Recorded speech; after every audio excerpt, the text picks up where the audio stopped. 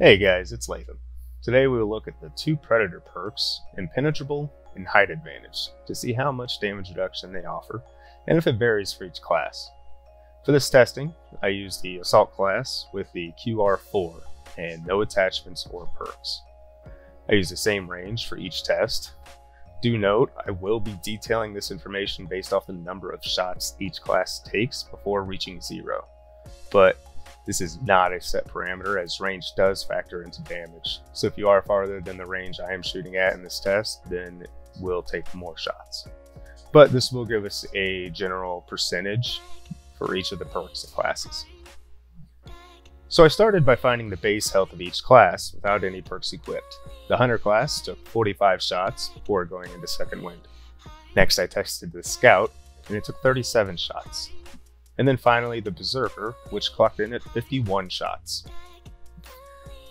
After establishing a base, I then equipped the Impenetrable perk and set up for the same conditions. The Hunter now clocked in at 50 shots, which translates to a 10% damage reduction. The percentage matched up for the Scout and Berserker, with the Scout taking 41 shots and the Berserker taking 57. So, Impenetrable is a flat 10% damage reduction.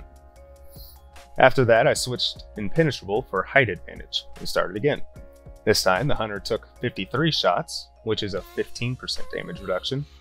And again, it was the same for the Scout at 44 and the Berserker at 60.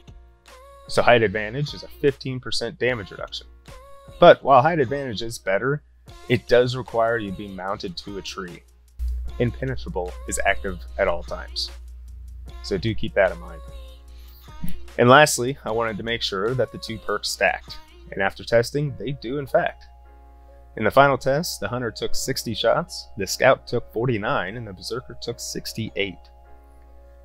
So there are all the final results. Impenetrable gives a flat 10% damage reduction, and Height Advantage gives 15% damage reduction if you are in a tree. And if you have both equipped and are in a tree, then you get a combined 25% damage reduction.